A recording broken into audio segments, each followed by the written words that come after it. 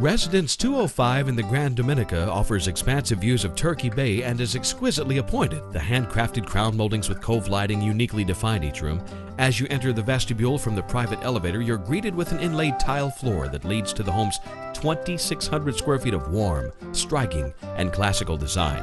The many expansive glass doors offer access to the large screen lanai overlooking the lush green preserve and blue bay waters. The family and morning rooms are open to the kitchen and provide a casual space and spectacular water views. The large kitchen is complete with custom raised panel wood cabinetry, tumbled marble backsplash, and high-end paneled appliances. Both guest suites are complete with private baths and a shared balcony offering sunrise views, while the luxurious master suite captures the warm sun and westerly views. A private beach club membership is available to complete the perfect tropical package.